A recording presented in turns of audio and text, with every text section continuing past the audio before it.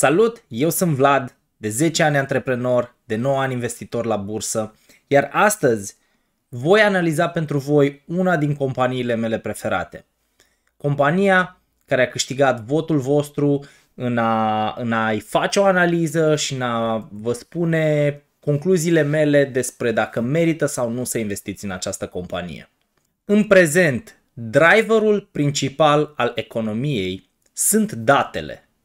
Colectarea de date, procesarea de date, centralizarea datelor, eficientizarea proceselor, managementul mai performant, totul se face prin colectarea și minarea acestor date în diferite scopuri. Multă lume crede că Facebook este o companie de comunicare, de social media și așa mai departe, însă în realitate principalul produs Facebook sunt datele.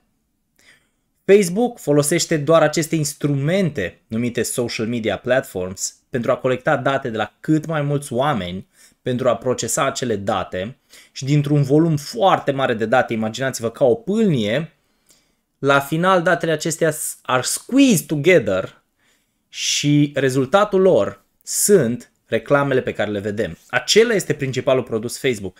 Iar Facebook este unul din cei mai ieftini furnizori de servicii de advertising. Pentru că poate colecta foarte ieftin, cu cheltuieli minime, o cantitate enormă de date, iar procesând acele date poate livra cel mai eficient posibil o reclamă. Și rezultatul acelei reclame va fi un pay per click foarte avantajos pentru tine. Atâta timp cât reclama ajunge la oamenii interesați, șansa ca aceștia să dea click și șansa ca aceștia să cumpere produsul crește foarte mult. Înțelegând cât de importante sunt datele și în general vorbim de această pâlnie a unei cantități foarte mari de date, which are squeezed together cu un singur scop, uh, avem o companie ca și Palantir, care face cu totul altceva. Colectează o cantitate gigantică de date și le procesează într-o multitudine de scopuri. Adică nu irosim o cantitate mare de date pentru un singur scop, ci din contră, scopul acestei companii este să proceseze o cantitate mare de date într-o multitudine de scopuri. Scopul pentru care aceste date vor fi folosite după sunt următoarele. Prinderea teroriștilor, cum a fost prinderea lui Osama Bin Laden. Detectarea unor probleme de funcționare înainte de a apărea la avioane. Crearea unui algoritm de vaccinare. Câțiva dintre clienții acestei companii, US Army, US Navy, CIA, FDA, UK Health Minister și așa mai departe. În zona privată avem clienți ca și IBM, Amazon, Airbus, Boeing și foarte multe alte companii din sistemul bancar. Palantir este o companie care a fost fondată în 2003 exact cu acest scop și la bază ei stau niște oameni care îmi plac foarte, foarte mult. Oarecum, într-un fel, de parte de parte, stră, stră, stră bunicul lui Palantir este chiar și Elon Musk. Compania aceasta a fost fondată de un european, respectiv Peter Thiel, el a stat și la baza companiei PayPal, el a stat și la baza companiei SpaceX și a scris o carte incredibilă, îmi pare rău că nu am aici să vă arăt, uh, e în camera mea pentru că am citit-o de mai multe ori, se numește From Zero to One și îți recomand cartea asta în mod special, poate chiar o să facem un video pe tema ei și ce am înțeles eu din această carte. Același Peter Thiel a fost implicat și în fondarea și dezvoltarea a fost în Class A Investors la Facebook. De unde a plecat ideea acestei companii numite Palantir? Totul a pornit de la compania PayPal, care avea foarte mare succes în perioada bulei.com și compania continua să fie pe minus quarter after quarter din cauza scamurilor, fraudelor bancare și așa mai departe. Era o mare problemă, nu reușeau să folosească un algoritm care să detecteze fraudele și de asemenea nu reușeau să folosească oameni suficient de mulți încât să detecteze fraudele. Prin urmare, compania constant mergea în pierdere, până când a avut Peter Thiel această idee să creeze un soft care au pus nume Igor, Google about Igor, Russian Igor, uh, și acest software era un hibrid între inteligența artificială și oameni într-o eficientizare incredibilă a controlului tranzacțiilor. Respectiv, se formau pattern-uri care semănau între ele cu posibile scamuri, iar toate aceste pattern-uri erau raportate unui grup de oameni, iar aceștia le verificau manual. În felul acesta nu iroseai prea multă resursă umană, dar nu aveai prea mare eroare din cauza inteligenței artificiale. Și în felul ăsta, folosind acest soft numit Igor, pentru prima dată PayPal a trecut pe profit și a fost un breakthrough tehnologic pentru industria procesărilor de plăți din acel moment. După ce compania a fost vândută, Peter Thiel cu Alex Karp, actualul CEO, și cu Stefan Cohen au încercat să vadă cum pot folosi tehnologia care stă la baza software-ului Igor în a o dezvolta mai mult și în a crea un nou produs revoluționar care să se adreseze mai multor segmente industriale. Exact ce ziceam, să nu folosești o cantitate foarte mare de date cu un singur scop, să folosești o cantitate mare de date într-o multitudine de scopuri. În felul acesta au creat Palantir. În 2009, compania Palantir a avut cel mai mare succes. A ajutat la blocarea unui program de spionaj numit GhostNet și Shadow Network, programe de spionaj care au ajuns până în calculatoarele ONU. Compania a reușit pentru prima dată să creeze un pattern, să îl detecteze și să acționeze în timp util pentru a proteja sute de mii de calculatoare împotriva acestui program de spionaj asiatic. În 2011, aceeași companie a ajutat la prinderea lui Osama Bin Laden, iar în prezent, când am avut conducta de țiței blocată și vedeam orașe întregi uh, în care oamenii nu mai au combustibil, nu mai își puteau folosi mașinile, Palantir a fost și compania care a, a prins hackerii și a reușit să soluționeze acest puzzle al hackului care bloca conducta de țiței. Încă începând din 2008, compania lucra cu guverne la nivel internațional și era foarte mult implicată pe partea de uh, Secret Service și Defense, lucra foarte mult cu armata, iar din 2009 compania are primii lor clienți privați. Pentru prima dată încep să acționeze B2B. Este imposibil pentru o companie să ajungă să aibă o valoare mare de capital, având doar activități cu uh, statul, doar contracte cu statul.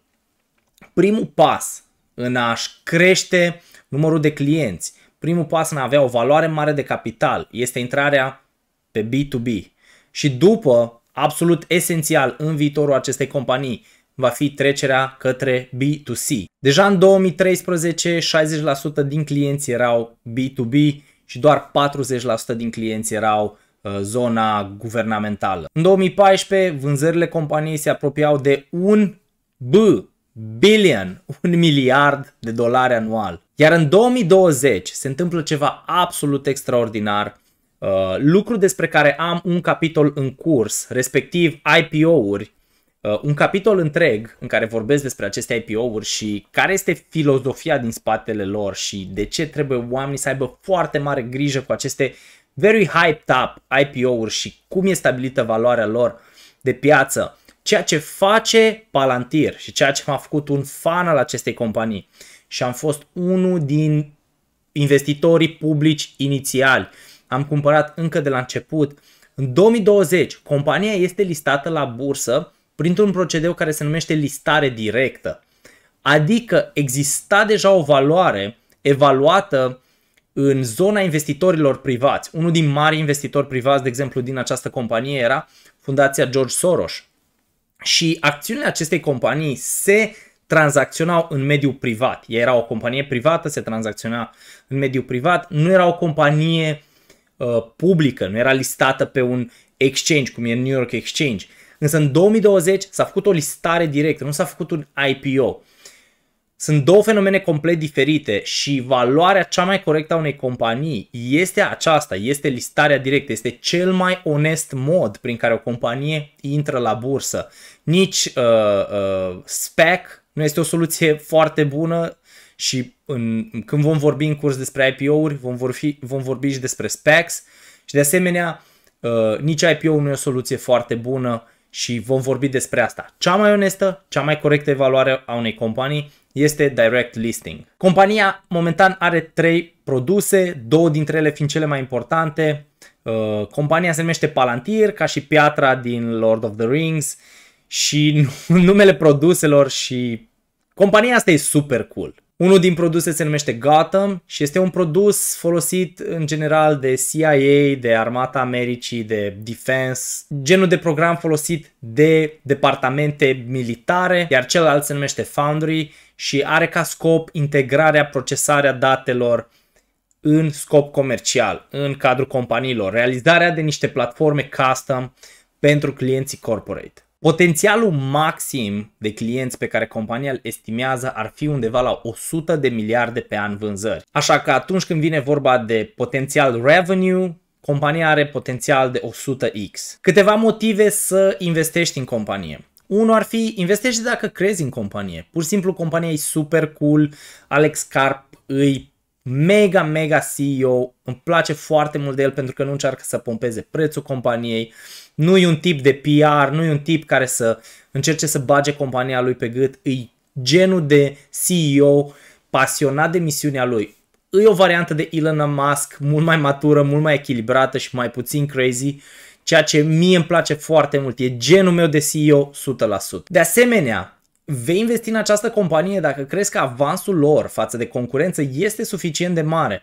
Trebuie să ținem cont că în domeniul tehnologiei avansul tehnologic pe care tu îl ai poate să fie un avantaj pentru concurență, pentru că ei pot face tot ceea ce tu deja faci, interpretat într-o variantă mult mai bună. Poate infrastructura pe care tu ai creat-o să ajungi în punctul în care ești acum te împiedică să evoluezi destul de repede sau să fii destul de versatil față de concurență care, bum, vine direct cu ceva nou. Și este exemplu Google, o companie pe care am studiat-o foarte mult și o companie care rare ori a revoluționat. În general, a fost o companie care cel mai mult a copiat produse deja existente, însă, având buget nelimitat, au venit cu o versiune mult mai versatilă, mult mai optimizată, mult mai up-to-date și i-au luat pe toți, pe concurență. Așa că trebuie să te gândești, dacă crezi că avansul Palantir față de concurență este suficient de mare, aceasta fiind o companie destul de veche, având experiență în procesarea, minarea datelor, uh, uh, practic procesarea datelor folosind roboți virtuali. Uh, cred că descrie mult mai bine activitatea lor. Dacă crezi că avansul lor tehnologic este suficient de mare, dacă crezi că contractele pe care le au ei deja, care în general sunt contracte pe termen lung, sunt suficiente, investește în companie. Dacă crezi că au capacitatea de a manageria pierderile anuale, care sunt undeva la 200 de milioane de dolari pe an, investește în companie. Dacă pur și simplu crezi că bulgările acesta va avea destul de energie să meargă la deal în jos până când va crește suficient de mare încât să treacă pe profit, vor putea alimenta pierderile acestea din nou și din nou și din nou până când compania va fi profitabilă investește în companie. Un alt motiv pentru care aș investi în compania aceasta este potențialul mare de monopol. Mă atrag aceste companii. Companiile cu potențial mare de monopol, companiile care sunt 2, 3, 4 pe un segment industrial mare, sunt companiile care sunt pe inima mea. Iar ultimul lucru care îmi place în mod special despre Palantir, aceștia lucrează cu foarte multe startup-uri, foarte multe companii noi, cărora le oferă produsul lor, platforma lor, care îi costă enorm de mult pentru că e custom build pentru fiecare client și prin asta they get paid in shares. Ei primesc bucăți din aceste companii noi. Dacă tu crezi că acești regi ai procesării de date, ai analizelor de date, își aleg bine companiile care să-i plătească pe ei în acțiuni și nu în bani și crezi că ei vor fi parte în viitor din companii foarte, foarte puternice care le va spori automat și lor valoarea, investește în Palantir. Astea sunt câteva motive pentru care să investești în Palantir. Am o listă cu motivele pentru care nu aș investi în această companie, semnele de întrebare, semnele de exclamare, problemele acestei companii. Video acesta este dedicat comunității care a achiziționat cursul și de asemenea te încurajez și pe tine, orice companie alegi să investești în ea, cel mai important e să pleci de la problemele companiei. Pentru că dacă totul e bine, compania va merge în sus. Mai mult sau mai puțin, oricum vei fi în profit. Dar dacă nu iei destul de în serios problemele unei companii, ai cele mai mari șanse să investești și să-ți pierzi banii. Dacă ți-a fost util acest video, apasă pe butonul de like, apasă pe butonul de subscribe, apasă pe clopoțel și scrie în comentarii ce alte companii ai vrea să mai analizez și cine știe, poate chiar compania ta favorită va fi în următorul clip.